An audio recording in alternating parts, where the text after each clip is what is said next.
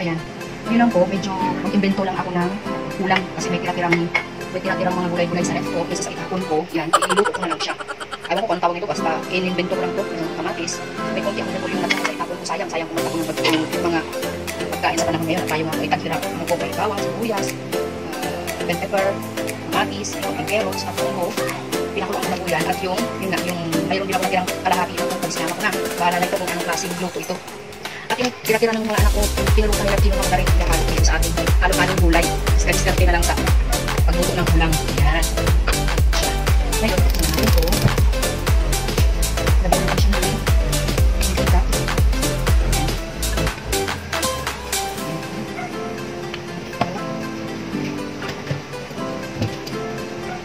Mainit na yung mantika natin. Lagyan natin yung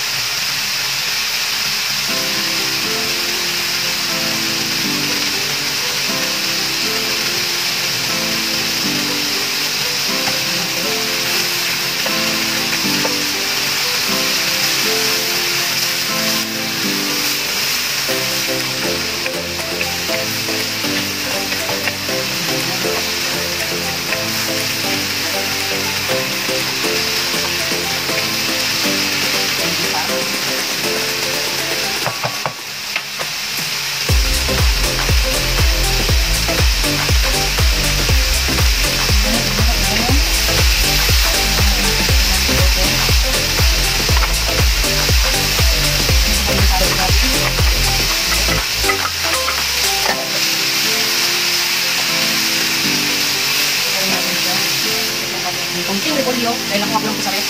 Sayang tapon ng kanin. Ayan. Sayang magpamula ng kanin natin. Kaya ito ang kinabangan. Doon ang ating pagkagaan. Oh, ang hirap ng ulo.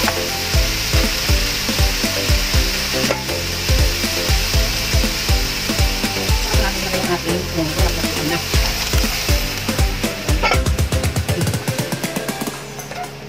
Kaya natin siyang kumulo.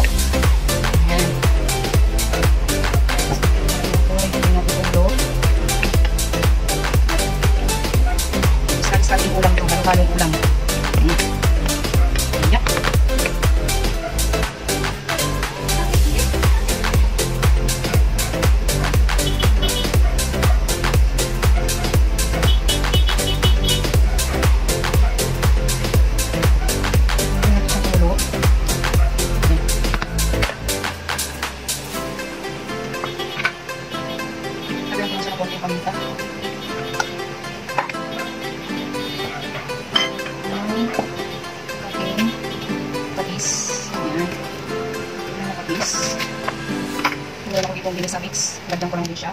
Binisa mix para may konti lang yung konting lasa. Ayan. Then, ilagay na natin ito. Sige. Ayan na siya. At yung mga charon. Ayan.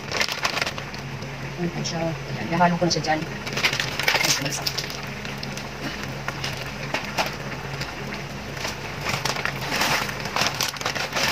Ayan po. Ayan. Ayan. Turuan lang po natin yan. Then, ulam na. Ayan. mayroon ka ng halo-halong gulay. O, di ba? Halo-halong linggo pala. di ba? O, yan pala may tatapon mo mga gulay-gulay na yan. Sayang, mahirap ang world. Mawal mo ng food. Kaya, discard ka na lang ng mga Mother Earth yan. Ganun. Yan po siya. Kumukulo na.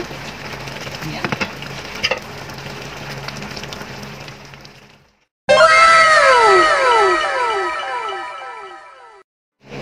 Ayan po, sige na tayo nakain ng time. Ayan. Di ba sayang pag itapon yung mga gulay-gulay na yan? Mm.